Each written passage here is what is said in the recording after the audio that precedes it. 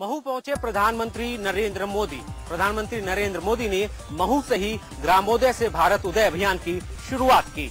प्रधानमंत्री ने भीमराव अंबेडकर की मूर्ति पर माल्यार्पण किया। प्रधानमंत्री की यात्रा को लेकर महू में बेहद उत्साह का माहौल था। इसके साथ ही वो देश के पहले पीएम हैं जो पहली बार अंबेडकर स्मारक स्थल पर आए।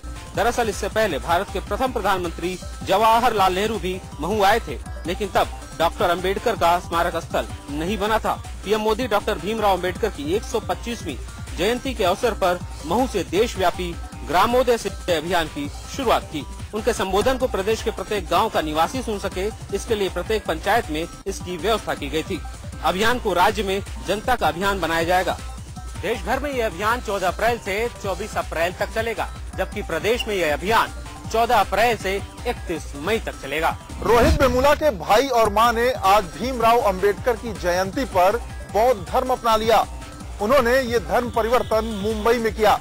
रोहित बेमुला हैदराबाद केंद्रीय विश्वविद्यालय के छात्र थे। उन्होंने इस साल जनवरी में खुदकुशी कर ली थी। उनकी आत्महत्या को विश्वविद्यालयों में दलित छात्रों के साथ भेदभाव के प्रतीक के तौर पर देखा गया। रोहित के भाई राजा बेमुला ने बताया हमने अंबेडकर जयंती पर मुंबई की अंबेडकर ट्रस्ट सोसाइटी में बौद्ध धर्म अपनाने का फैसला किया है। रोहित के परिवार का कहना है कि हिंदुओं के प्रति उनके मन में कोई दुर्भावना नहीं है।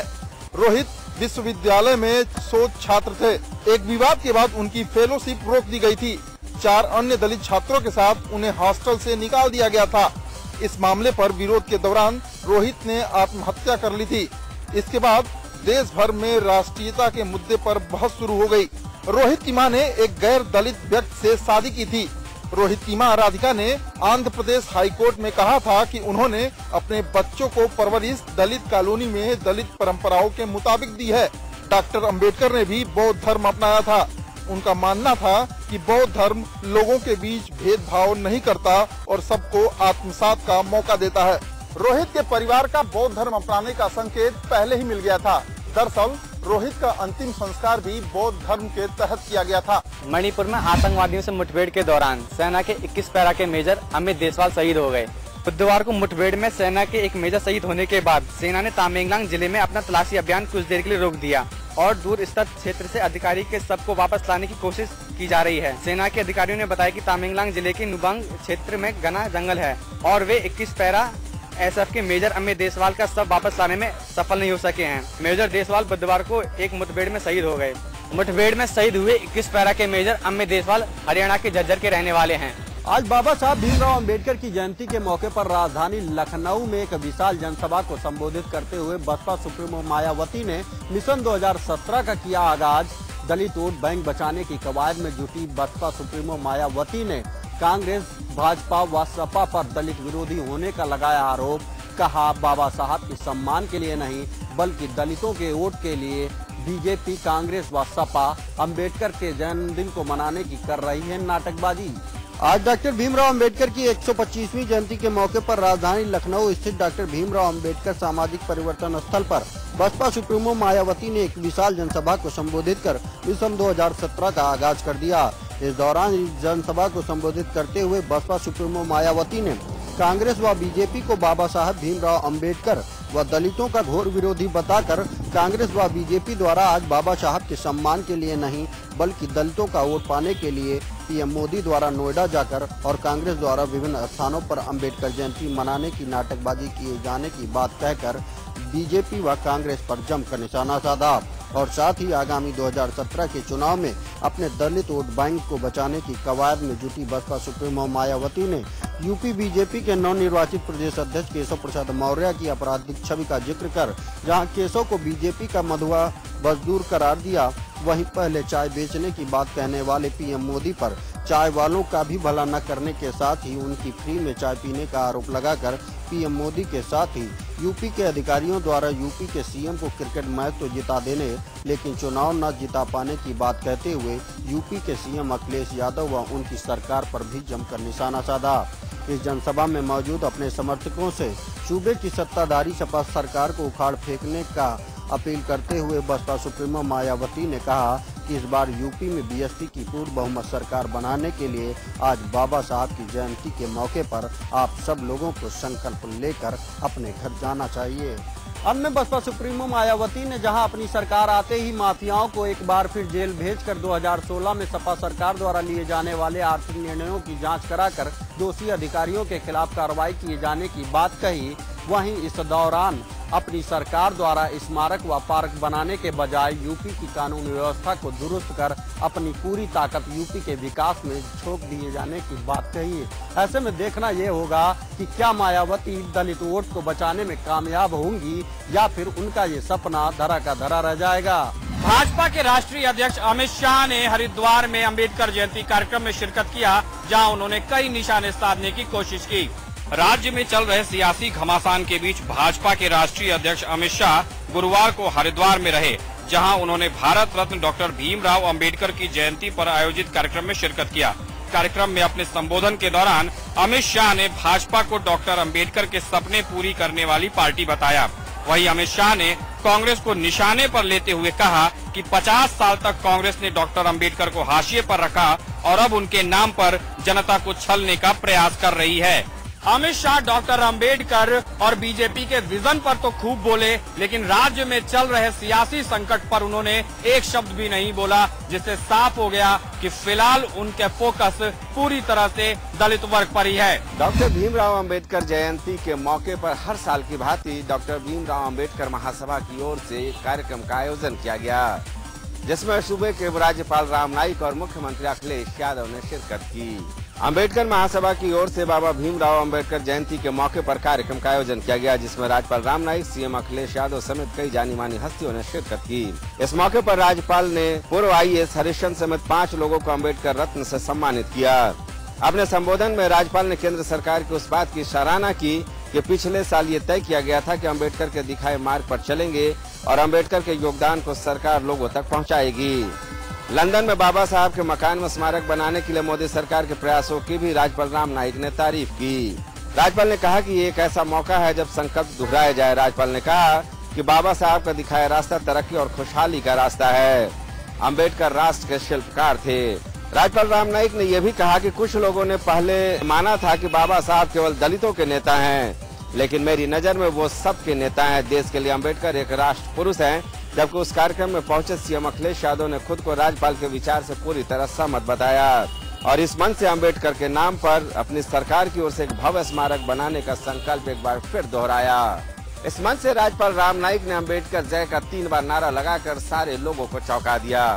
वहीं मुख्यमंत्री अखिलेश यादव ने अंबेडकर के स्मारक को लेकर पिछले माया सरकार पर चुटकी ली।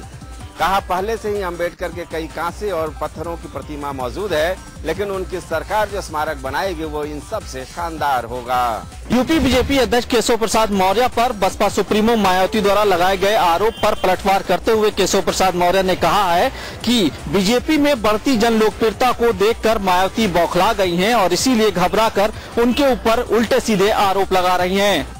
केशव ने अपने गृह नगर इलाहाबाद में आज प्रेस कॉन्फ्रेंस कर मायावती द्वारा लगाए गए आरोप पर जवाबी हमला बोला। उन्होंने कहा कि सिर्फ़ मुकदमे दर्ज होने से कोई अपराधी नहीं हो जाता। उन पर जो भी मुकदमे दर्ज हैं, वह कार्यकर्ताओं और आम जनता के संघर्ष से जुड़े हुए हैं। मायावती कितने भी आरोप लगाए, पर लोगों के हक में लड़ाई लड़ते हुए अगर चाहे तो उनके खिलाफ दस हज़ार ऐसी ज़्यादा मुकदमे दर्ज हों तो वो उसके लिए भी तैयार है। मायावती द्वारा लगाए गए आरोप पर पलटवार करते हुए केशव ने कहा कि बीजेपी ने उन्हें पिछड़ा वर्ग होने के नाते नहीं बल्कि कार्यकर्ता को सम्मान देने के लिए प्रदेश अध्यक्ष बनाया है। केशव मौर्य ने कहा कि उनके जैसे कार्यकर्ता के बीजेपी अध्यक्ष बनने से मायावती का अपना वोट बैंक खिसकने का डर सता रहा है। इसीलिए वह कभी उन्हें अपराधी बता रही है तो कभी पिछड़ा वर्ग के होने का हवाला देकर जातिवाद राजनीति कर रही हैं। केशव मौर्य ने एक बार फिर से दोहराया है कि यूपी से सपा और बसपा का पत्ता साफ़ करने और बीजेपी को दो से ज़्यादा सीटें जिताने के लक्ष्य पर काम करेंगे। यही नहीं, केशव प्रसाद मौर्य ने एक बार फिर से दोहराया है कि दो सौ पैंसठ सीटों के साथ आने वाली विधानसभा चुनाव में बीजेपी की सरकार बनेगी और विकास के मुद्दे पर चुनाव लड़ा जाएगा।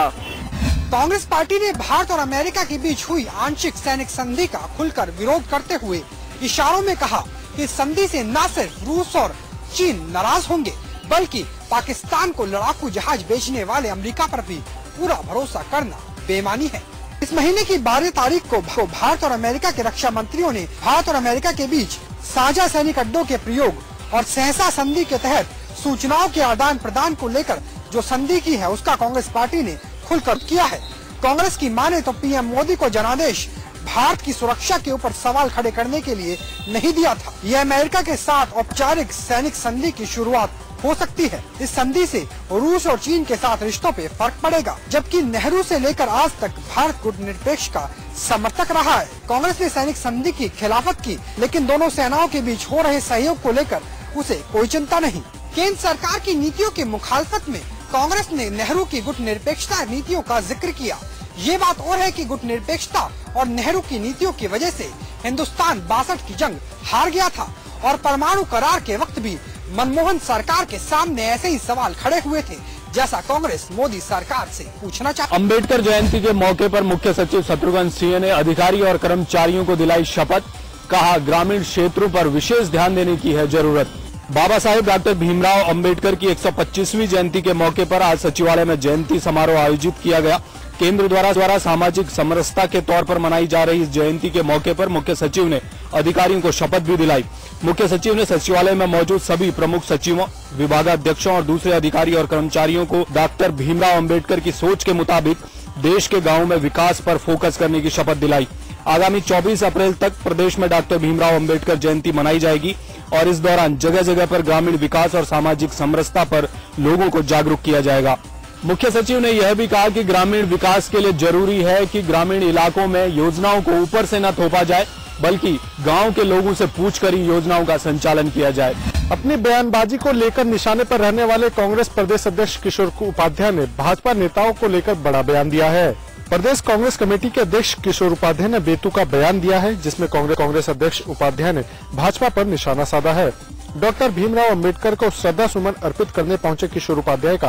कहना है कि भारत में बच्चे गोद लेने का रिवाज है, लेकिन भाजपा पिताजी गोद लेने का काम कर रही है, जिसमें पहले पटेल और अंबेडकर के नाम पर भाजपा जनता को बहका रही है।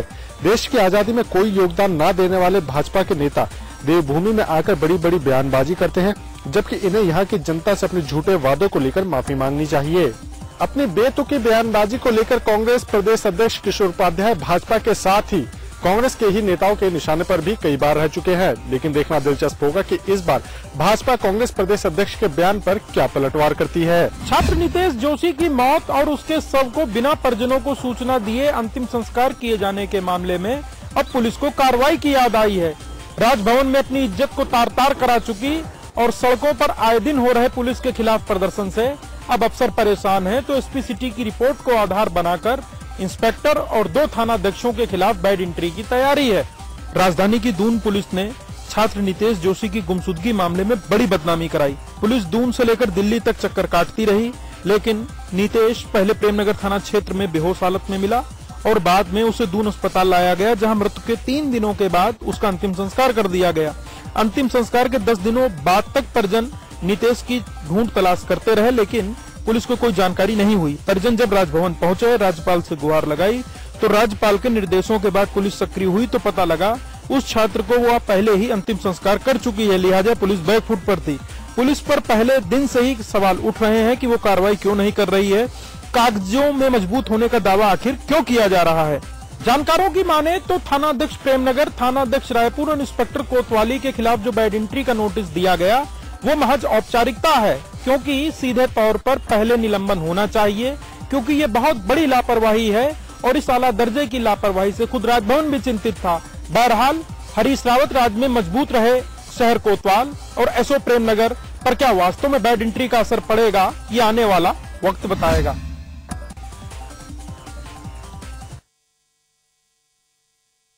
गर्मी शुरू होते ही चंदौली ज़िले के तकरीबन 175 से ज़्यादा गाँवों में पेयजल संकट गहरा गया है।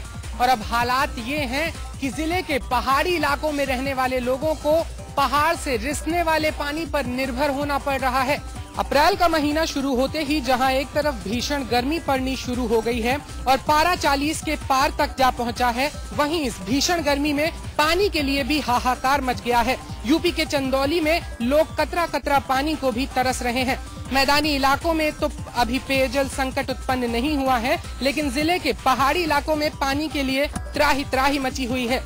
जलाशयों में नाम मात्र का पानी बचा हुआ है और हैंडपंप भी सूख चुके हैं। आलम यह है कि पहाड़ी इलाकों के लोग अब पहाड़ से रिसने वाले पानी पर निर्भर हो गए हैं और वो भी ज़रूरत के हिसाब से नहीं मिल पा रहा है। चंदौली के नौगढ़ इलाके के गाँव लेहड़ा में गर्मी के दिनों में लोग पानी की एक एक बूंद के लिए तरस जाते हैं। इस इलाके में सरकार की ओर से पानी के इंतज़ाम तो किए गए हैं, लेकिन भीषण गर्मी में वो भी हर साल फेल हो जाते हैं। और इंसान तो इंसान। पशु पक्षियों को भी पानी की एक एक बूंद के लिए दर दर भटकना पड़ता है। फ़िलहाल जिला प्रशासन ने इस इलाके में पानी मुहैया कराने के लिए शासन को प्रस्ताव भेज दिया है। लेकिन अब देखना ये है कि शासन की ओर से इस प्रस्ताव को अमली जामा पहनाए जाने में कितना वक्त लगता है। हाईकोर्ट की लखनऊ खंडपीठ की 150वीं वर्षगांठ के कार्यक्रम के मौके पर आज लखनऊ में उपराष्ट्रपति हामिद अंसारी पहुँचे, जहाँ इस कार्यक्रम में मुख्यमंत्री की जगह शिक्षा मंत्री, वहीं राज्यपाल और लखनऊ खंडपीठ के मुख्य न्यायाधीश भी मौजूद रहे। हाईकोर्ट की लखनऊ खंडपीठ की 150वीं वर्षगांठ के मौके पर यहाँ कार्यक्रम का आयोजन किया गया। वहीं लखनऊ में बनी नई हाईकोर्ट बिल्डिंग में इस कार्यक्रम में आज राज्यपाल समेत उपराष्ट्रपति भी चीफ गेस्ट के रूप में मौजूद रहे। यहाँ मुख्यमंत्री कारणों के चलते यहाँ नहीं पहुँच सके। वहीं उनकी जगह शिक्षा मंत्री मौजूद रहे। जहाँ इस मौके पर सबने हाईकोर्ट और न्याय प्रणाली से जुड़ी अपनी अपनी यादें साझा की। इस मौके पर जहाँ राज्यपाल ने उपराष्ट्रपति से दरखास्त की कि नई बिल्डिंग में जजों की नियुक्ति की जाए क्योंकि कई ऐसे कमरे हैं जिन्हें देखकर उन्हें दुख का एहसास होता है। इस मौके पर जहाँ उपराष्ट्रपति हामिद अंसारी ने भी लखनऊ हाईकोर्ट से जुड़ी अपनी कई यादें ताज़ा की। वहीं राज्यपाल ने लखनऊ खंडपीठ के लिए उपराष्ट्रपति से पर्याप्त जजों की मांग की है। मेरठ के आर्मी वेयर हाउस में घुसे तेंदुए को आखिरकार वन विभाग की टीम ने बावन घंटे की कड़ी मशक्कत के बाद पकड़ हिलिया तेंदुए को बेहोश करने के लिए डबल डोज दी गई। इससे पहले ऑपरेशन के दौरान वन विभाग के डॉक्टर आर के सिंह को तेंदुए द्वारा किए गए हमले में हाथ में चोट आई। तेंदुए के पकड़े जाने के बाद वन विभाग, पुलिस और सैन्य अधिकारियों के साथ साथ आम लोगों ने भी राहत की सांस ली। 50 से ज़्यादा घंटे की कड़ी मशक्कत के बाद तेंदुए को काबू में किया जा सका। तेंदुए को पकड़ने के लिए दधुआ नेशनल पार्क की एक टीम के साथ साथ कानपुर चिड़ियाघर से भी टीम को बुलाया गया। आज सुबह से टीम ने संयुक्त रूप से ऑपरेशन चलाया और दो बार तेंदुए को ट्रेकुलाइज कर बेहोश किया और उसे पिंजरे में डालकर सहारनपुर जनपद के शिवालिक में छोड़ दिया जाएगा। वन विभाग अधिकारियों ने बताया तेंदुआ बहुत आक्रमक हो गया था। इस वजह से उसको बेहोशी की डबल डोज देनी पड़ी थी। गौरतलब है कि तेंदुआ मंगलवार को सुबह साढ़े सात बजे मिलिट्री हॉस्पिटल में घुस गया था, जिसके बाद एक पेड़ पर पूरे दिन छुपा रहा। वन विभाग की टीम और पुलिस ने तेंदुए को ट्रैकुलाइज करने की कोशिश की, लेकिन सही पोजीशन नहीं मिल पाने के कारण तेंदुए को बेहोश नहीं किया जा सका था, जिसके बाद तेंदुआ बुधवार ढाई बजे अंधेरे का फ़ायदा उठाते हुए आर्मी रेस कोर्स के पास निर्माणाधीन इमारतों में जा पहुँचा और वहाँ पाँच लोगों को घायल कर दिया था। ताज नदी आगरा में अब मासूम बच्चियाँ भी नहीं है सुरक्षित, जिसकी ताज़ा बानगी देखने को मिली थाना रकावंज इलाके में। फुटपाथ पर सोती एक मासूम बच्ची को एक सिरफरे ने बदनीयत से उठाने का प्रयास किया। आगरा थाना रकावगंज इलाके के रावली मंदिर के पास फुटपाथ पर सोने वाली मासूम को एक सिरफरे ने बदनीयत से उठाने का प्रयास किया, जिसके बाद लोगों ने सिरफरे को पकड़कर जमकर पीटा। आनंद फानंद में इसकी जानकारी स्थानीय पुलिस को दी गई। मौके पर पहुँची पुलिस ने सिरफरे को हिरासत में ले लिया है। दरअसल देर रात थाना रकावंज इलाके के रावली मंदिर के पास फुटपाथ पर सोने वाले मासूम बच्ची को एक सिरफरी द्वारा उठाने का प्रयास किया गया। घटना देर रात उस समय की है, जब बच्ची अपने परिवार के साथ फुटपाथ पर सो रही थी। वहाँ पहुँचे एक सिरफरे ने बच्ची को बदनीयत के चलते बच्ची को उठाने का प्रयास किया। तो लोगों ने उसको देखा, उसके परिवार को जगाया, उसके बाद बच्ची को उसके कब्जे से मुक्त कराया और सिर्फ़ रेखी जमकर पिटाई लगाई। सूचना मिलते ही थाना रकावगंज पुलिस मौके पर पहुँची और सिरफरे के कब्जे में ले लिया। लेकिन इस घटना से ये बात तो सच है कि आगरा में अब बच्ची भी सुरक्षित नहीं है।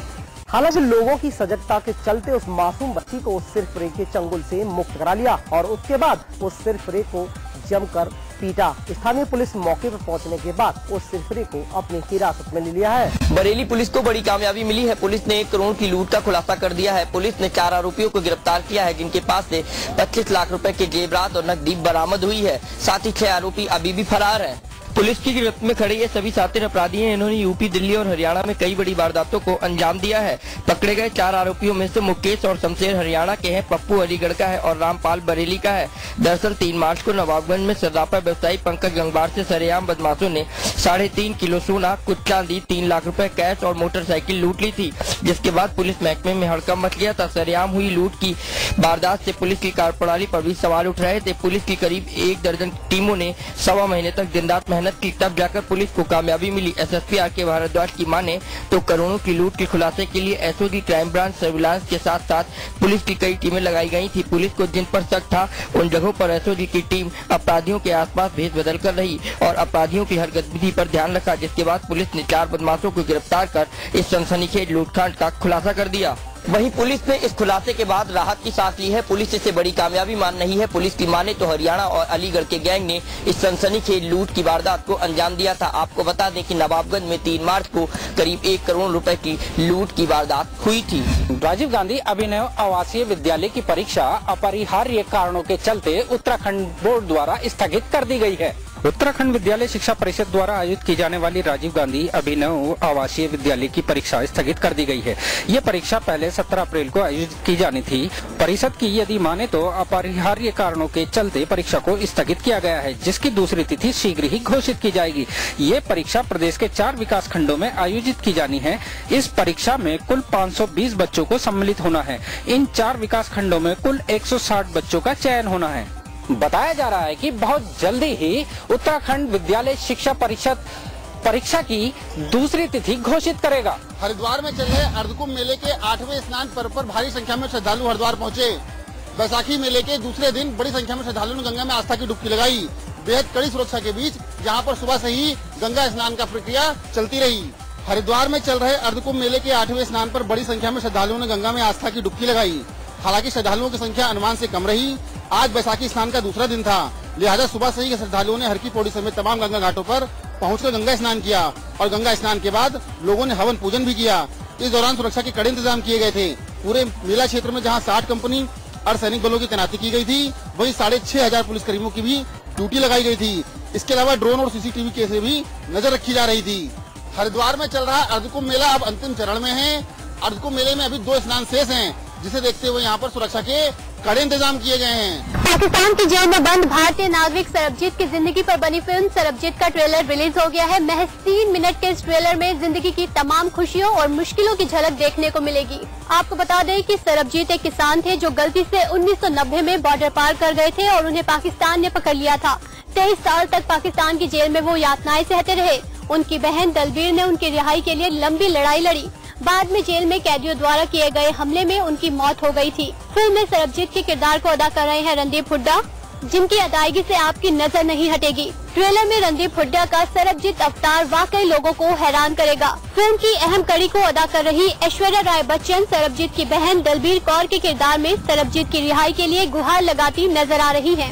फ़िल्म में अभिनेत्री ऋचा चड्ढा भी नज़र आने वाली हैं, जो कि सरबजीत सिंह की पत्नी के किरदार में नज़र आएँगी। फ़िल्म में अपने किरदार के लिए रणदीप हुड्डा ने 18 किलो वज़न घटाया था, जिसके लिए वो काफ़ी सुर्खियाँ बटोर चुके हैं। 20 मई को रिलीज़ होने वाली इस फ़िल्म का डायरेक्शन ओमंग कुमार ने किया है।